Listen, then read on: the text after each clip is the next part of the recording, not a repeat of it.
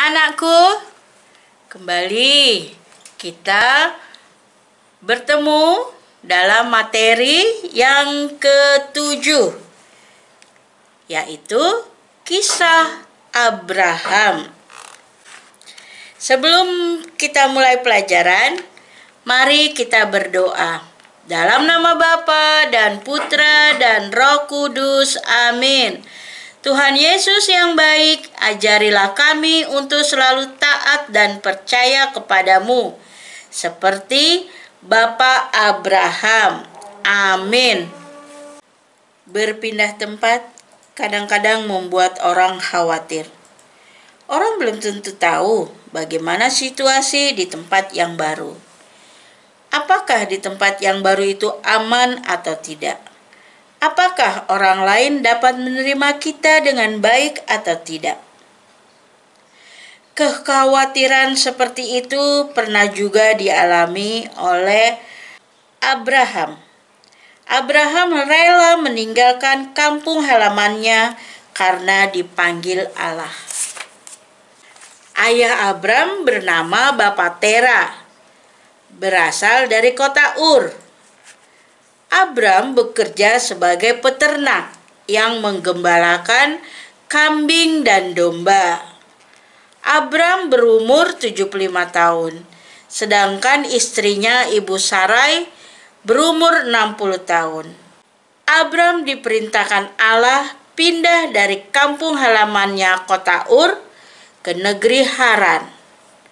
Abram pergi bersama Sarai dan keponakannya yang bernama Lot.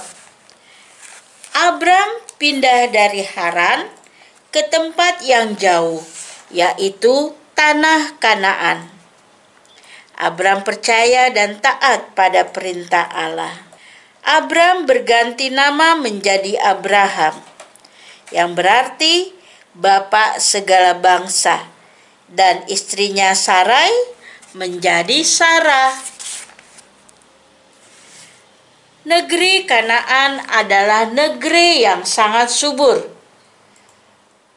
Diberikan Allah kepada Abraham dan keturunannya.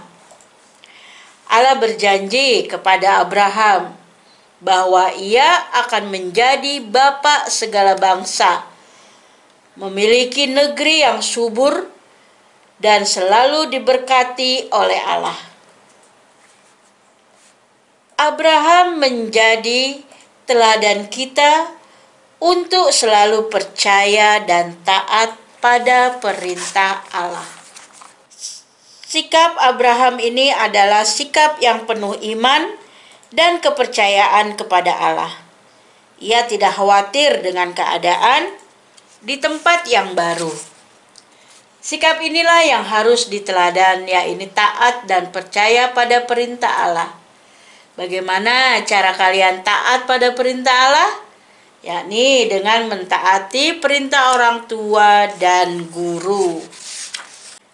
Nah, anak-anak, Abraham adalah orang yang percaya dan taat pada perintah Allah. Materi yang ketujuh sudah selesai.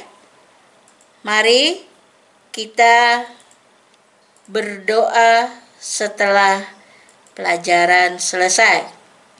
Dalam nama Bapa dan Putra dan Roh Kudus. Amin. Tuhan Yesus yang baik, berkatilah kami agar selalu percaya dan taat melaksanakan perintahmu seperti Bapa Abraham. Amin.